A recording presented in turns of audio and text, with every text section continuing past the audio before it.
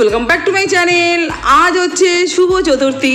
তা চতুর্থীর দিন আজকে কিন্তু আমি একটা দারুণ রেসিপি নিয়ে চলে এসেছি।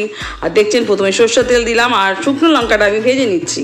তা ভাজার পর এদিকে রসুন কুচি দিয়ে দিলাম, তা দেওয়ার পর রসুন কুচিটা কিন্তু হালকা করে ভাজতে হবে, কিন্তু তার সঙ্গে সঙ্গে দিয়ে দিলাম আমি পেঁয়াজ কুচি। একদম ঝিরিঝিরি করে কাটবেন পেঁয়াজটা। তো পেঁয়াজটা কিন্তু ভালোভাবে এবার একটু নেড়ে ছেড়ে নিতে হবে, আর একটু হালকা তো লাল ভাজা ভাজা করতেই হবে, তা নাহলে তো টেস্ট হবেই না, কি বলুন, তাই না? তা ভালোভাবে দেখুন আমি নেড়ে ছেড়ে নিচ্ছি। এইবার দিয়ে দেবো হচ্ছে টমেটো কুচি। দুটো এখানে দিয়েছি মিডিয়াম সাইজের আর একদম ঝিরিঝিরি। দেখছেন? একদম ঝিরিঝিরি। কোনো একদম গোটা গোটা করে আমি কাটিনি। কেন ঝিরিঝিরি করে কাটতে হবে? সেটা কেন? সেটা দেখুন। দেখতে থাকুন, এই যে চলে এসছে আলু সিদ্ধ। আলু সিদ্ধ করা হয়ে গেছে। দিয়ে দিলাম নুন। নুনটা যার যার আপনাদের আন্দাজ মতন সেটা আমি সবসময় বলি। দিয়ে দিলাম দুটো শুকনো লঙ্কা। দিয়ে ভালোভাবে নুনের সাথে চটকে চটকে চটকে ভালোভাবে লঙ্কাটা মেখে নিতে হবে।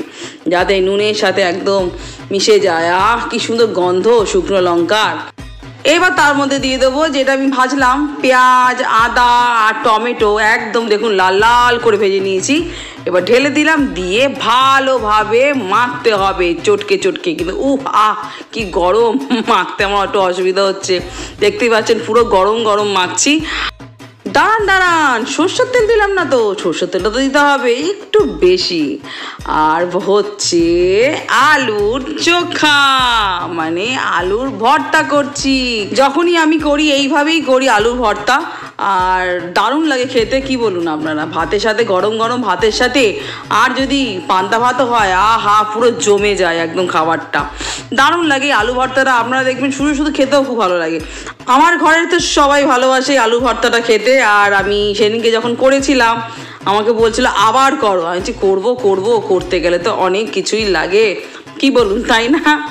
তা দারুণ, একদম দারুণ লাগে আলু ভর্তাটা। আর আমার তো আমি এইভাবেই করি। রেসিপিটা তা যেইভাবে করি, সেইভাবেই আপনাদের আমি দেখালাম।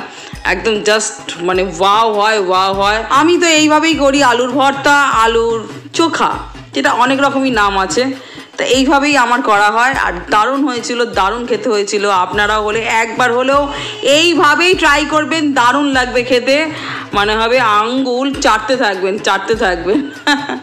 দারুণ হয়েছিল। ফ্রেন্ডস তা আপনাদের কেমন লাগল? আজকে এই আলু ভর্তা রেসিপিটা অবশ্যই কিন্তু একটা লাইক করে বলবেন আর আপনারা ট্রাই করবেন। আর আপনারা সবাই ভালো থাকবেন।